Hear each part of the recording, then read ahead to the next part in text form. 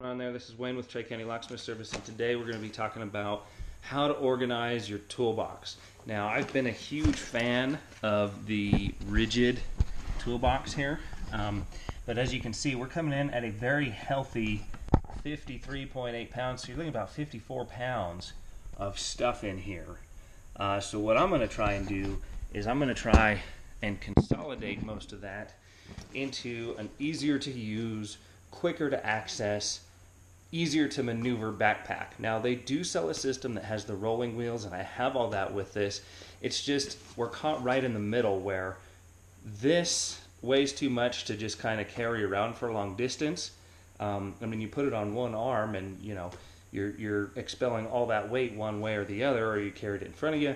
It's just becoming a bit obnoxious. Um, so what we're going to do is shrink it down to, we'll still utilize the toolbox and we'll carry drills and backups and spare parts in there. Uh, but for day to day use, I'm going to try and put everything in this bag that I'm going to need because less trips to the van means more money for you and less time spent on the job site. Um, I know that for an absolute fact. I've been um, trying to figure out the perfect combination of things to, to have and to carry because if I go in prepared. I show up once, I do the job, and then I leave, and I don't go back and forth to the van. Um, you know, you're you're smoking the competition. Um, you know, they're doing three calls a day where you can do six or eight, um, and that's what I'll usually do in a day is you know between six or eight different calls because we can show up, get the job done, have the tools we need at hand, get paid, and get out of there. Um, so I never even thought of this until I saw Milwaukee have a bag at the at the store. Um, but there's all kinds of pockets and all kinds of stuff in here.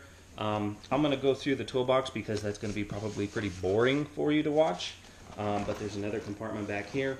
Uh, and then I'll separate things and sort them into here and uh, we'll go ahead and do that and I'll show you how it turns out. We'll weigh it. Um, and once again, we're not throwing away the RIDGID toolbox. It's a great toolbox. It's waterproof, it's tough, it's durable, it's awesome. It's just going to hold backup parts. It's just awkward to walk around with. Even with the rolling cart, the rolling cart is too much. I have separate stuff in there uh, for, for different um, things that we, we do. Um, but, you know, when you encounter obstacles like stairs, snow, ice, mud, gravel, uh, that rolly wheel cart um, is good for smooth ground, but it doesn't do good over that. So if I can take this stuff, throw it on my back, and then get to the job site and get what I need done, um, you know, and we're not going to be putting drills in there either right away. Uh, we'll have the drills in the main box, and then that way I know what I need. I'll grab the bag, and then I can carry the drill in my hand, making the bag much lighter. So stay tuned and check it out going on? This is Wayne with Tri County Locksmith, and today we're going to be continuing our journey to check out this backpack. So we've lowered our toolbox down to what we put in this backpack, and it's about 28 pounds. Um, so we've almost cut it in half, pretty much. We're about 54 before. Uh, so it's much lighter, much easier to carry around, much easier to do anything with. And I'll just go through um, how I've got mine set up and what I've got in here to do. Um, so one of the most commonly used tools is going to be your 18 volt drill like this. It just goes right in there like so. Um, you can also stuff an impact in there, uh, but you're not always going to need both. You're not always going to need one or the other. Um, but you can fit them both in there, at least for travel and for carry. Uh, so those are nice that you don't have to have them in there all the time. That's what freed up a lot of weight and a lot of room to do this. So the next thing we'll go over is Schlage removal tool, a latch, just miscellaneous bits, mostly Phillips head bits and uh, bits for hole saws because they break quite often. Uh, that's going to be the first thing that we're going to be using here. Just quarter inch bits and stuff that you're going to grab for all the time in that outer pouch. in the inner pouch is where we really start coming alive. Um, in here, got some more bits. You can never have enough of those. Uh, check key, uh, chisel. It's easy to grab stuff. It's just in that nice flap right there, so it keeps everything locked down real nice. Um, and then we start getting into the real nitty gritty. We got one more flap here. Um, right angle tool. Uh, these always come in handy whenever you need them. You don't have one anywhere near. Um, so I always keep one because in case you're trying to tighten a bolt in a drawer or a cabinet or something, uh, this is going to save your butt and it's going to save you a trip back to the van. It's nice, it's easy, it's light, it just tosses right in here and it connects with either your impact or your regular drill. Um, let's see here. Just some more miscellaneous drill bits that you may need. Uh, this is another um, drill bit. this is the carbide drill bit for the Spyder system. Uh, big drill bit in case you got to drill something big out. Uh, punch, carbide bits, all that fun stuff is in here. Close that up. Uh, something new that I'm adding to my arsenal of things to do is the I don't know what they call this multi-tool. Um, we'll be doing a review on this soon too. So uh, we've got some blades and whatnot for it in here. some more blades uh, for doing some fine cutout work, cabinet work, stuff like that. Uh, they're nice and flat, so they lay in there really nice and easy. Um, let's see here. Let's go over this while we're doing this too. Let's see. Flap storage, five times, big zippers. Uh, this doesn't tell us a whole lot. It just says that it's, you know, heavy duty and lasts longer. Uh, some of the features that are really good is this is a ballistic material. It's actually rip resistant. Um, it's got a load bearing harness and it's got like a big flat rubber bottom. So if you set this on the ground in snow or water, it's not going to get your backpack wet. It's actually just going to, it, it'd be like sitting it in the Tupperware or something. Um, so that is a nice feature and it holds the bottom open so you can reach down in there and grab all your stuff. Uh, continuing on, we've got our Spyder hole saw. That's my favorite hole saw. Always like that one for wood installations, carbide tipped, uh, ejects the plug very nicely, just like so. And then you saw that we do have a masonry bit to attach that to, so if you need concrete installation, it will do it. Um, let's see, we got our wider range of Bosch bits, the Bosch paddle bits, the most popular, of course, being the one inch bit. Uh, that's my favorite bit again for wood for installation. Um, and this is what we're trying out new too. Uh, the new Diablo carbide tipped hole saw system. Carbide tipped so it will do wood and it will do metal and it will do hardened steel, it will do stainless steel. Uh, taking a page out of the Spyder book and um, having an injectable hole saw system and you could replace this with a carbide tipped blade as well. So this is going to cut just about anything and when any when these get welded together, you throw the whole bit out, you grab a new one, and you put it on there. No more fighting, trying to un, undo the arbor from the hole saw to allow it to do your to put on your new hole saw. It's just a one-click system. so this is working out extremely well for me. Put that back. This is my spare blade ready to go. uh, couple more hole saws here.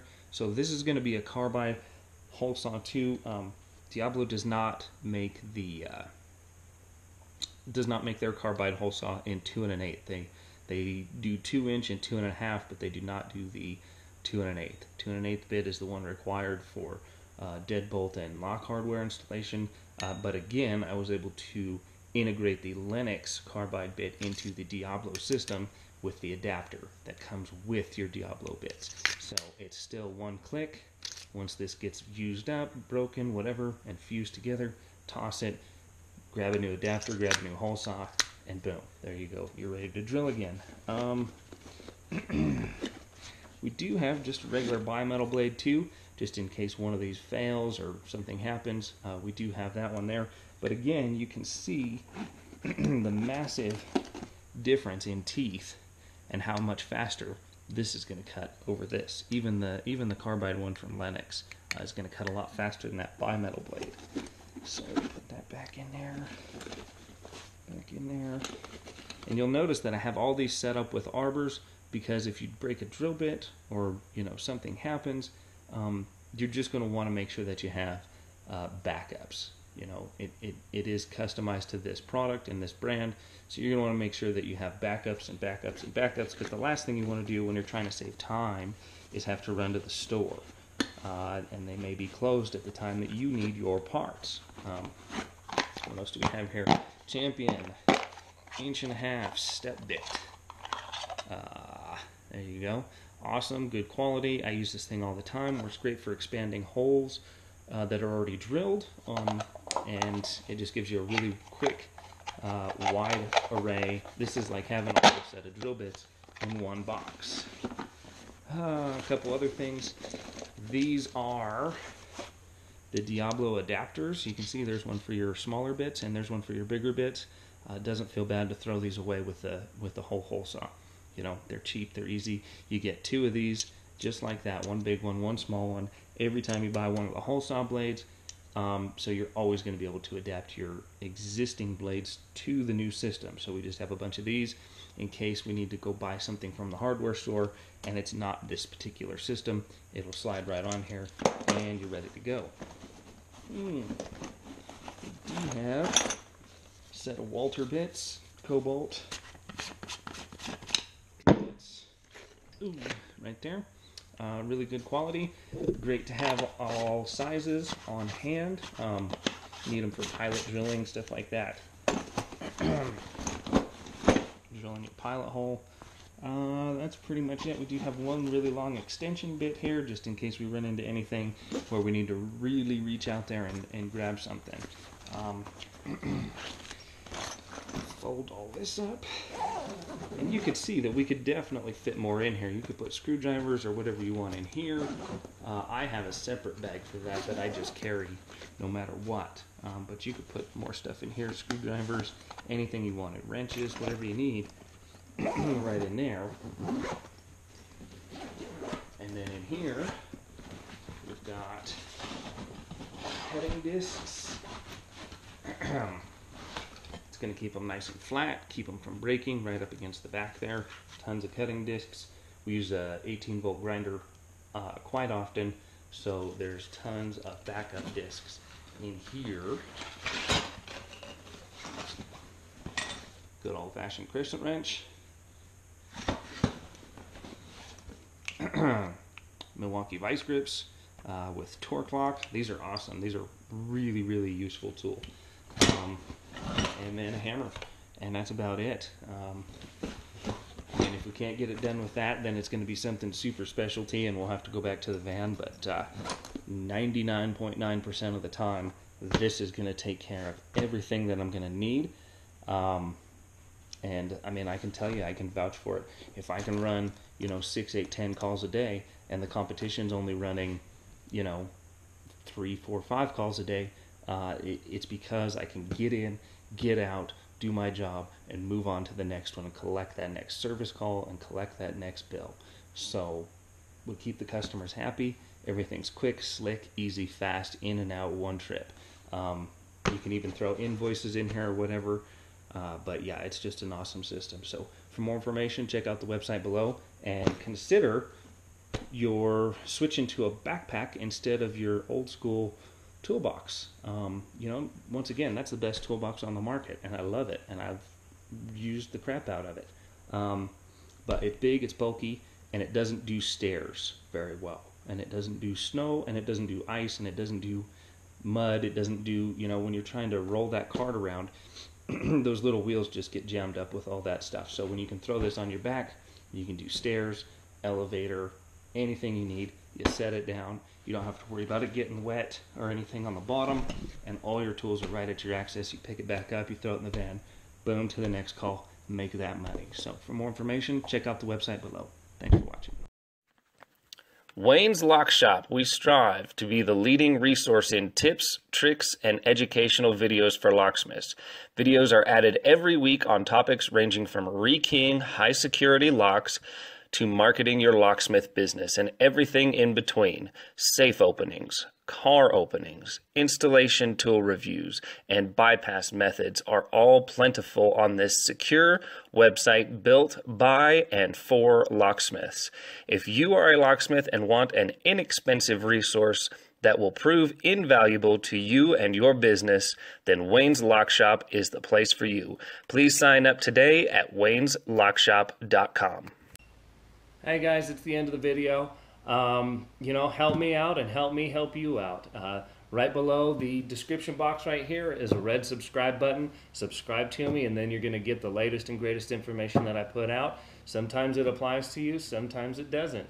Um, you know, it, it's just going to at least let you know that uh, we're putting out new and current information. And then right over here is a thumbs up button. Give me a thumbs up. Help this video uh, rank higher in the searches for the search terms that you're using and let other people be able to see this. Um, you know, that's the best way you can help. Interact. Leave a comment. I will get back with you if I can and try and help you answer your questions. But the more you interact and post this to Facebook, Twitter, Google Plus, and spread this through the social media, uh, the more that allows me to be able to help do more videos. So thank you so much for watching. I really appreciate it.